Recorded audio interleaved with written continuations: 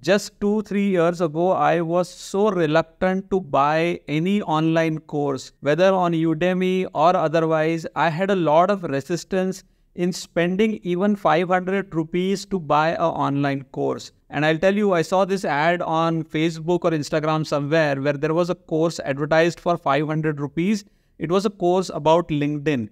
And I thought 500 rupees was a lot and I did not buy that course. And then later on, I found one more course which was for some 400 rupees. So in my mind, I calculated that okay, if I buy this 400 rupees course, I am saving 100 rupees. And I ended up buying that 400 rupee course. But once I started to learn from that 400 rupee course, I actually bought two more courses of thousands of rupees just to learn LinkedIn.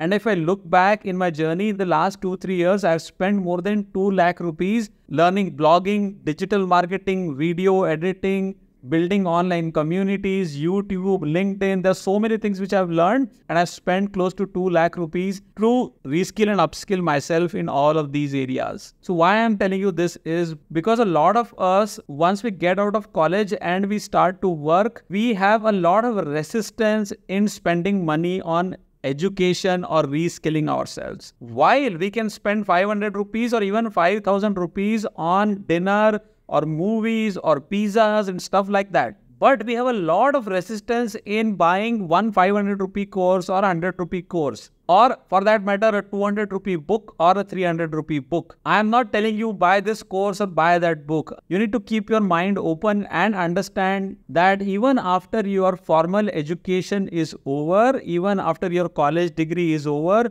you still need to learn and you will still need to invest money, time and efforts. That is the only way you will learn new things and stay relevant. That is the only way to sustain in your career. That is the only way to grow in your career. I have learned this from my Guru Siddharth that never be cheap on your journey to greatness. I hope you resonate with this. Let me know your thoughts in comments. Bye for now.